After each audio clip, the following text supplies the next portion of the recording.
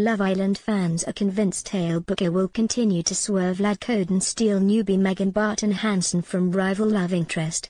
Alex George the curly-haired model already showed his intentions for the bombshell entry. Despite her confession she was attracted to the doctor. Eyal bluntly interrupted their cozy chat in the beach hut before Megan, perhaps mirroring his feelings, chose him for a date. Although Alex also enjoyed a private natter with her, the Londoner was the one who went in for the kiss first. After getting on very well their spark was notched to the next level during a flirty game of truth or dare.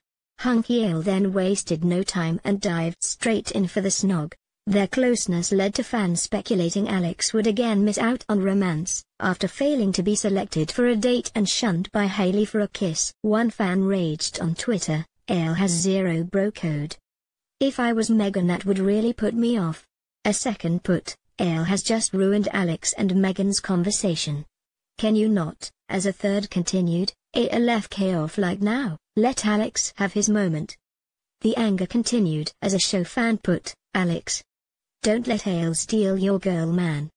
Meanwhile upon her arrival, Megan told the girls that she quite fancies Alex, who so far has been unsuccessful on the romantic front, admitting, I kind of like the doctor.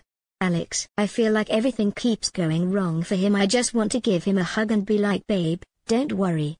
Yet it appeared she will be much closer to choosing Eyal when the next coupling up happens. Love Island continues weeknights at 9 p.m.